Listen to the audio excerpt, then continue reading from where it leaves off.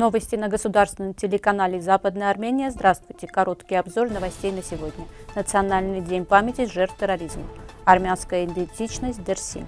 Топонимы Арцаха, Дадиванг или Хутаванг. Институт омбудсмена Азербайджана занят оправданием преступных действий Баку против Арцаха. Герам Степанян. После землетрясений в Западной Армении более 800 тысяч зданий признаны непригодными. Нас становится мало, нужно сохранить деревню. Староста села Вагафлы. День рождения Егише Чаренца.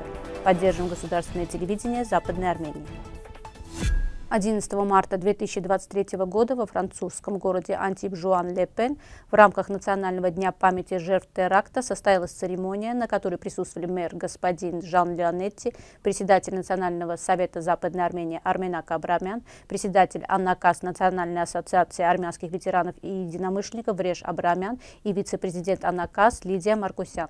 После приезда представителей власти и военной церемонии почета были зачитаны показания молодого студента, в которых говорилось о террористическом акте, жертвой которого стала любимая. После церемонии была воздана дань уважения памяти усопших, во время которой присутствующие минуты молчания почтили память погибших, возложили венки, прозвучал звон колокол. Западная Армения отдает дань уважения также памяти жертв турецко-азербайджанского терроризма.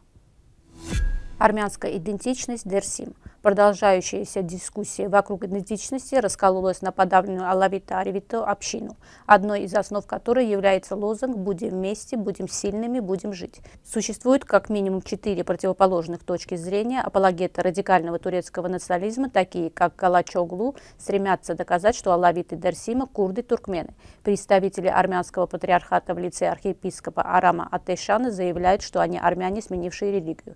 Для гурских националистов дерсимцы являются частью курской нации, которые борются за свою независимость и право на автономию. Есть также течение Зазаян, как отмечает в своей статье госпожа Харатян, которая приписывает дерсимским алавитам этнические и национальные особенности. Ни один из тезисов недостаточен для точного изучения истории Дерсима. На протяжении веков Дерсим был метизной территорией, где возникло население Алави-Ареви, являющееся оригинальным синтезом различных этнических происхождений – армяне, иранские дайламиты, курды и туркмены.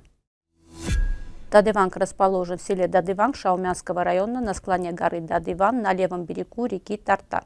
Согласно легенде, церковь была основана в первом веке последователем Фадея, одного из апостолов Христа, который проповедовал христианство в этот период Армении. В ходе раскопок, проведенных в 2007 году под алтарем одной из церквей монастырского комплекса, были найдены мощи святого апостола Даде. В исторических записях церковь впервые упоминается Махитаром Гошем, который некоторое время жил и работал в Дадиванг. Первые строения монастырского комплекса были построены в IX веке. В XII веке комплекс был сожжен захватчиком сельджуков, восстановлен более двух десятилетий спустя. Комплекс включает две церкви, две часовни, монастырские кельи, письменный дом, трапезную, гостевой дом и другие строения строения. Главная церковь монастыря Католике построена в 1214 году. На территории, прилегающей к Католике, находится однонефная церковь XIII века и притвор. К сожалению, в последнее время Национальный правозащитный институт Азербайджана в лице Сабины Алиевой занят оправданием преступных действий Азербайджана против Арцаха, которые привели к гуманитарной катастрофе в Арцахе и невинным смертям, вместо того, чтобы оставаться приверженным подлинной миссии защиты прав человека и осуждения их массовых нарушений. Об этом говорится в заявлении защитника прав человека Арцаха Герама Степаняна. Следуя логике пропагандистской машины правительства Азербайджана, Сабина Алиева преднамеренно распространяет дезинформацию и делает необоснованные заявления о предполагаемой переброске оружия, боеприпасов, другой военной техники, включая мины, топливо и войска из Армении в Арцах без предоставления достоверных фактов. Такая ложь активно используется в качестве предлога или подготовки почвы для новых военных атак на Арцах в будущем. Сабина Алиева не сказала ни слова о трехмесячной незаконной блокаде 120 тысяч арцахцев, в том числе 30 30 тысяч детей, организованный правительством Азербайджана. Несмотря на призывы ряда авторитетных международных межправительственных и общественных организаций, государственных и негосударственных субъектов разблокировать жизненный путь Арцаха, Азербайджан продолжает бесстыдно и открыто отрицать факт гуманитарного кризиса. Обращая внимание международных организаций также на деятельность уполномоченного по правам человека Азербайджана, которая далека от защиты прав человека и используется для оправдания нарушений основных прав человека. Западная Армения, выступая на различных международных площадках в качестве поборника защиты прав человека строго осуждает действия Азербайджана агрессора, которые привели к грубейшим нарушениям прав человека и гуманитарному кризису. После землетрясения, произошедшего в Западной Армении 6 февраля, более 800 тысяч зданий выведены из эксплуатации. Об этом сообщает Панорама АМ. Специалисты завершили оценку ущерба в пяти провинциях из 11. По итогам оценки здания вывод такой. Разрушенный находится на грани разрушения или в средней степени разрушенности более 800 тысяч строений. Ранее стало известно, что число жертв землетрясений достигло 48 тысяч. Постоянный представитель программы развития ООН в оккупированной Западной Армении Луиза Уинтон заявила, экономический ущерб от землетрясения в начале февраля в Западной Армении превысит 100 тысяч миллиардов долларов.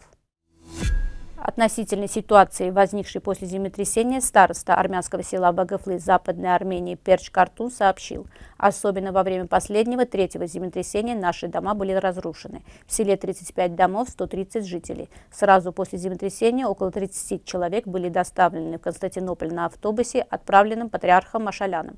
20 человек отправились в Александретту к своим близким. У большинства проблемы с психикой. Отсутствие палаток очень усложнило жизнь. Позже выяснилось, что церковь полностью разрушена. На данный момент у нас около 25 палаток, где мы и ночуем.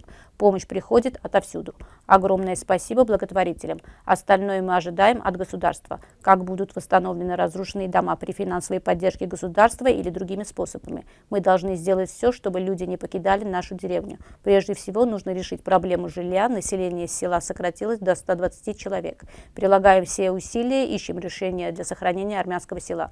Просим у каждого помочь сохранить деревню. Западная Армения призывает все армянство объединиться и содействует населенному армянами селу Вагафлы. Ерышет Чаренц родился 13 марта 1987 года в городе Карс, Западной Армении. 1908 году Чаренц поступил в гимназию Карса, где в школьном альманахе «Гарун» были опубликованы его стихи. В 1914 году в Карсе вышел в свет сборник стихов писателя под псевдонимом Чаренц. Три песни печально-бледной девушки. Национально-освободительная борьба и Первая мировая война ставят точку на юношеской мечте Еише Чаренца. Чаренц записывается волонтером и присоединяется к бойцам, спешащим освободить Западную Армению от захватчиков. В те годы он создает одно из своих лучших произведений «Дан Лермонтова «Легенда», в котором описывает ужасы войны начала XX века. В 1915 году Ейши Чаринц переезжает в Москву, чтобы продолжить учебу в университете Шанявского. В 1919 году возвращается в Ереван, начиная преподавать в школе. В этом году в Тифлизе выходит гениальная поэма «Неистовые толпы». В июле-августе 1936 года начинаются аресты армянской интеллигенции. В сентябре Егиша Чаренца подвергают домашнему аресту по обвинению в терроризме и национализме. Книжные магазины магазины аннулируют его книги, издания новых прекращаются. Начинается давление на семью. Через некоторое время гениального поэта арестовывают и предъявляют сфабрикованные обвинения в антисоветской деятельности. 27 ноября 1937 года Чарин скончался в больнице одной из ереванских тюрем. Уважаемые соотечественники, телевидение Западной Армении не занимается саморекламой. Руководство Западной Армении, оставаясь верным своей идее и принципам, продолжает посредством телевидения и других медиаплатформ по-новому представлять различные события, связанные с историей, настоящим и будущим нашей страны, информирует о политических и общественных событиях правительства, также дает возможность ближе общаться друг с другом. С помощью нашего телевидения вы можете установить прямую связь с правительством, членами Национального собрания, поднять все волнующие вас вопросы которые напрямую связаны с Западной Арменией и ее гражданами. Также выразить ваши интересные предложения. Помимо того, что вы телезритель, у вас также есть возможность стать гражданином Западной Армении, следуя соответствующей процедуре. Напомним, что Western Armenia TV не занимается саморекламой, а стремится расширить связи с вашей помощью. Ваша поддержка – наша общая победа. Вместе мы сила. И в заключении новостей послушаем музыкальное произведение.